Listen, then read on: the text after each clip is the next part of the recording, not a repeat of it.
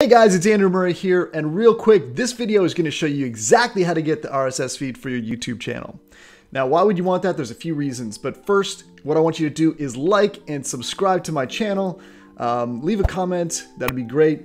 So I'm gonna put this link in the description, okay? And this is the code that you wanna get if you wanna get your RSS feed. And why would you wanna get your RSS feed for your YouTube channel? Well, there's certain things that where you might want to, to use that. I'm going to give you an example here. Okay. Um, so this is Missinglettr. And what this does is this actually pulls new content out and then it's going to help me distribute it to my uh, social media channels automatically. So it's going to pull it in every time. So if you're doing a lot of YouTube videos, this is really helpful.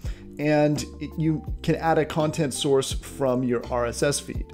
So what I'm gonna do is I'm gonna go to my channel because my channel is actually a vanity channel, so I don't have the uh, the channel ID. I don't know what that is offhand. So what I'm gonna do is I'm gonna go to YouTube, and when I go to my channel here, I'm gonna go to my channel, and then you'll see here that this pops up with my actual channel ID, and that's what I'll need in order to uh, complete this. So that's my channel ID, the non-vanity version, um, and you just go to your channel to uh, to get that. Now, if you notice here, this is TubeBuddy pulling up uh, a whole bunch of information about my channel.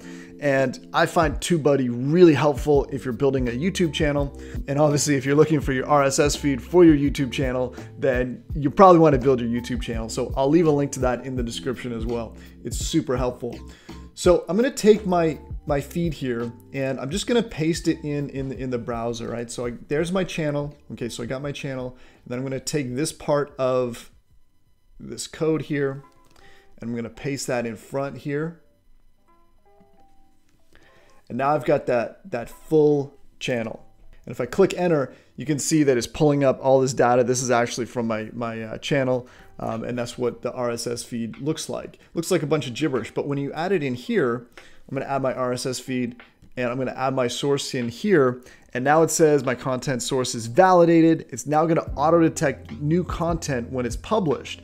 So I've managed to connect this with the RSS feed, and so if you're looking for your RSS feed for your YouTube channel, that is how to do it. Again, I'm gonna leave this code here in the description so you can just copy that so you'll be able to get the RSS feed for your YouTube channel. All right, if you found this video helpful, give me a like, give me a thumbs up, much appreciated. Have a fantastic day. We'll see you in the next video.